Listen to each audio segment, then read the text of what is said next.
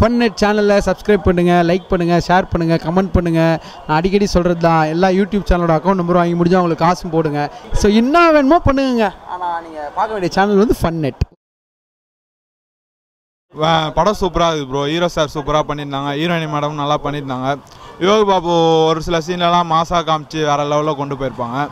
ஸ்டா first of கொஞ்சம் என்ன சொல்கிறது அடல்ட் காமெடி அந்த மாதிரி இருந்தாலும் கிளைமேக்ஸ் கொஞ்சம் சென்டிமெண்டாக முடிச்சு சூப்பராக போட்டிருப்பாங்க. ஃபஸ்ட் ஆஃப் நல்லா இருந்ததுண்ணா. ஃபுட் சேஃப்டி பற்றி ஃபுல்லாக இன்ஃபர்மேஷன்ஸ் தேவைண்ணா அது ஓகே பார்க்கலாம். ஒன் டைம் பார்க்கலாம் மூவி நல்லா இருக்கு.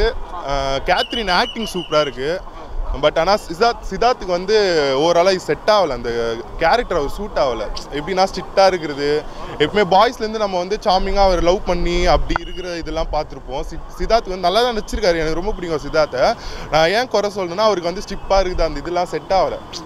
போன வாட்டியும் சிவப்பு மஞ்சள் அந்த இதில் வந்து அப்படி தான் இன்ஸ்பெ டிராஃபிக் இன்ஸ்பெக்டராக நடிச்சார். அதில் அதுலேருந்து அப்படியே த்ரூ அவுட்டாக இதுலேயும் அதே மாதிரி இருக்கனால வந்து செட் ஆகலை. கேத்ரின் ஆக்டிங் சூப்பராக இருக்குது இது வந்து லைட்டாக ஒரு ஆர்டரும் சொல்ல முடியாது. ஆனால் சொசைட்டி அவேர்னஸாக ஃபுட்டு பற்றி நர் செம்மையாக சொல்லியிருக்காங்க.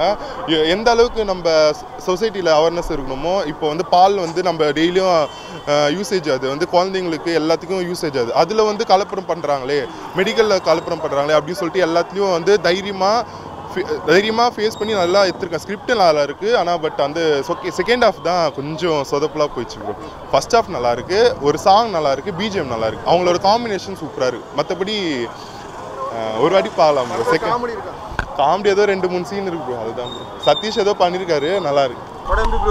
நல்லா இருந்துச்சு ப்ரோ சித்தார்த் நல்லா பண்ணியிருக்காரு நல்ல நல்லா கம்பேக் கொடுத்துருக்காரு. அருவம். அதான் சித்தார்த் படம். நல்லா கம்பேக் கொடுத்துருக்காரு. நல்லா இருக்கு. எல்லாரோட ஆக்டிங் நல்லா இருக்கு. நிறைய ஃபுட் சம்மந்தமாக பேசியிருக்காங்க. நல்லா இருக்கு படம். ஆ கண்டிப்பாக ப்ரோ சூப்பராக இருக்கு.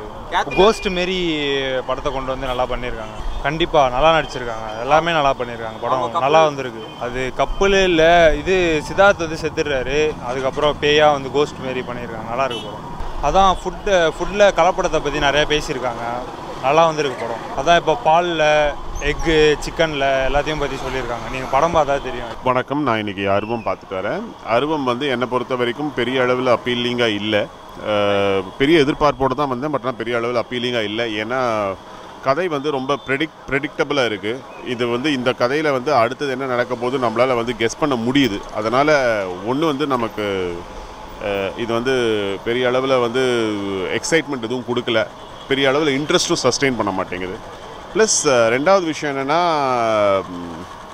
படத்தில் வந்து காஸ்டிங் வந்து ரொம்ப கன்வின்சிங்காக இல்லை. அது இன்னொரு ஒரு ப்ராப்ளம் படத்தை பொறுத்த வரைக்கும் ரெண்டு ப்ளஸ் இருக்குது என்னை பொறுத்த வரைக்கும் இந்த படத்தில் ரெண்டு நல்ல விஷயங்கள் இருக்குது ஒன்று வந்து தட் இந்த படத்தில் வந்து ஃபுட் அடல்ட்ரேஷன் அப்படிங்கிற ஒரு சமுதாய பிரச்சனையை வந்து எடுத்திருக்காங்க. ரொம்ப ரொம்ப நல்ல விஷயம். அதை பற்றி ஒரு அவேர்னஸ் க்ரியேட் பண்ண பார்த்துருக்காங்க. அது வந்து அதுக்கு வந்து இவங்களுக்கு வந்து பாராட்டுதல்கள் தெரிவிக்கலாம். இன்னொரு விஷயம் என்னென்னா ஆவிகளை யூஸ்வலாக அடக்கிறதுக்கு வந்து நம்ம வந்து யூஸ் இங்கே நம்ம ஊர் சாமியார்களும் பக்கத்து நம்பூதிரிகளும் இவங்கள தான் வந்து நம்ம பார்த்துருக்கோம் கொண்டு வந்து அடக்கிறத பார்த்துருக்கோம். இந்த ஃபார் ஃபார் அ சேஞ்ச் வந்து நம்ம வந்து வெளிநாட்டிலேருந்து நபர்களை கூட்டிகிட்டு வந்து இந்த ஆவிகளை அடக்கிறாங்க. ஸோ அது ஒரு புதுமையான விஷயமாக நான் பார்க்குறேன்.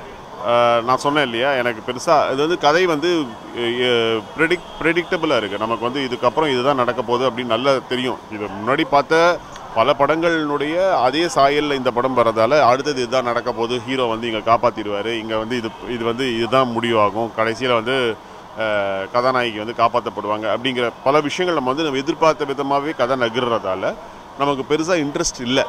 ஸோ வந்து புதுசாக எதுவும் இல்லை அப்படின்னும் பொழுது நமக்கு வந்து பெரிய நாட்டம் கிடையாது இந்த படத்தை முழுசாக பார்க்குறதுல.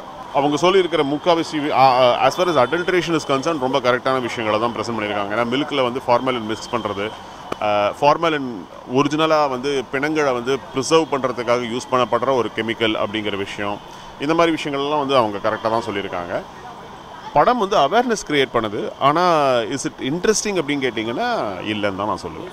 இல்லை இல்லை. இப்போ படத்தில் வந்து அவர் வராரு. முக்கால்வாசி இடத்துல வராரு. ஆனால் பிரச்சனை என்னென்னா ஒரே ஒரு நடிகர் மாத்திரம் வந்து ஒரு படத்தை வந்து தூக்கி நிறுத்தணும் அப்படிங்கிறது ரொம்ப கஷ்டமான ஒரு விஷயங்க. ஒரு படங்கிறது எல்லா கதாபாத்திரத்தினுடைய பங்களிப்பும் இருக்கணும். எல்லா கதாபாத்திரங்களும் சேர்ந்து நடிக்கிறத தான் ஒரு படமாக நம்ம பார்க்க முடியும். ஒரே ஒரு கதாபாத்திரம் நல்லா நடித்தா அந்த ஒரு கதாபாத்திரத்தை மாத்திரம் நம்ம பார்த்துட்டு படம் நல்லா இருக்குன்னு சொல்ல முடியாது. ரொம்ப ரொம்ப சின்ன பாட்டு அவருக்கு. ரொம்ப ஒரு வெகு சில சீன்கள்லேயே வராரு. ஆனால் அவர் வர்ற பாட்டில் அவர் சிரிக்க வச்சுட்டு போகிறாரு சரி நியாயமாக சொல்லணும்னா அவங்க வந்து அவங்களுடைய முழு எஃபர்ட் போட்டு தான் நடிச்சிருக்காங்க. பட் ஆனால் பிரச்சனை எங்கன்னா அது வந்து அவங்க தப்புன்னு நான் சொல்ல மாட்டேன். அது வந்து இயக்குனருடைய தப்புன்னு தான் சொல்லுவேன். கரெக்டான நபர் நபர்களை கரெக்டான நடிகர்களை கரெக்டான கதாபாத்திரங்களில் போடணும். இது அவங்களுக்கான உண்டான கதாபாத்திரம் கிடையாது. அது இதை விட பெட்டரான கதாபாத்திரங்களில் இல்லை அவங்களுக்கு அவங்களுடைய பாடி லாங்குவேஜ் அவங்களுடைய கேரக்டரிஸ்டிக்ஸ்க்கு ஏற்ற மாதிரி இருக்கிற கதாபாத்திரங்களில் அவங்கள காஸ்ட் பண்ணியிருந்தாங்கன்னா அவங்க சிறப்பாக தெரி தெரிஞ்சிருப்பாங்க. இது வந்து டிப்பிக்கலாக வந்து ஐடியலாக ஒரு நம்ம ஊர் பர்சன் இருக்கிற நம்ம தமிழ் பேசுகிறவங்க அதாவது இப்போ அவங்கள பார்த்தீங்கன்னா நம்ம பக்கத்து வீட்டு பெண் மாதிரி தமிழ் பேசுகிற பொண்ணு மாதிரி தெரியல இந்த இந்த படத்தில். அவங்க வந்து அதே மெட்ராஸில் பார்த்தீங்கன்னா தெரிஞ்சாங்க. ஆனால் இந்த படத்தில் வந்து அவங்க கரெக்டாக தெரியல. ஃபார் சம் ரீசன் வந்து எங்கேயோ வந்து காஸ்டிங்கில் ப்ராப்ளமா இல்லாட்டி அவங்க வந்து அவங்களுக்கு சொல்லி கொடுத்து அவங்கள வந்து இது பண்ண வச்ச விதம் ப்ராப்ளமான்னு தெரியல நமக்கு.